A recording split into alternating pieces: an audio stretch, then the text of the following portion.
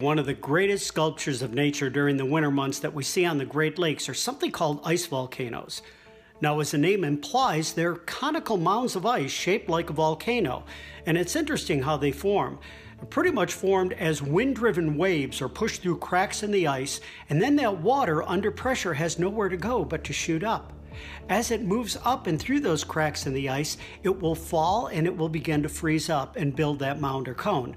Of course, the air temperatures have to be several degrees below freezing. You have to have open water on the lake to produce those waves and move the water through the cracks in the ice. And by the way, they're beautiful to look at, but they can be very dangerous because they're hollow inside. Do not walk on them, do not go close to them, because if you fall through, you're going to fall into freezing water. They're great to look at from a distance. Ice volcanoes, one of the great works of Mother Nature.